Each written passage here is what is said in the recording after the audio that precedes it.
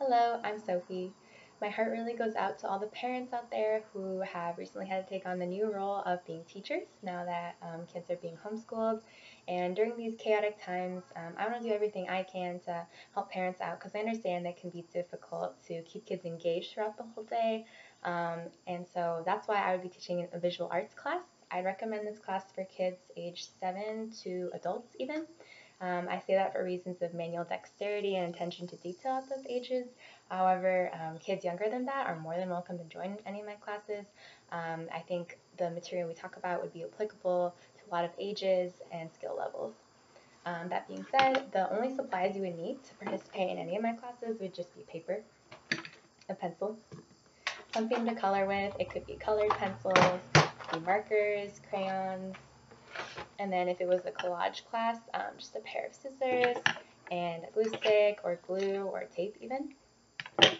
And um, the things that I would be teaching people how to draw would be mostly flowers, animals, um, maybe make some collages, and as well as some fun drawings with themes like how to design your own movie poster or album cover. Um, so for example, in one 45 minute class, I could teach people how to make a paper flower bouquet could also teach how to draw different animals.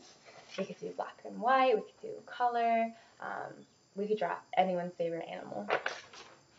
Also, we could do collages. Um, we could do ones of flowers, where you draw the flowers and you cut them out and you rearrange them. We can do um, more abstract collages, where you play around with colors and shapes.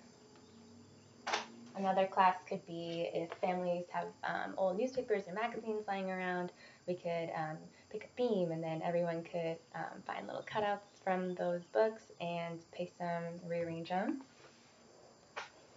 And we could do drawings themes, for example, so like draw something really up close or draw something with a 3D perspective that has a theme to it. So lots of fun possibilities. Um, overall, that's an overview of my classes, and I just hope that everyone is staying uh, healthy and as happy as they can um, during these times. Um, and I just want to support in any way I can. Thank you.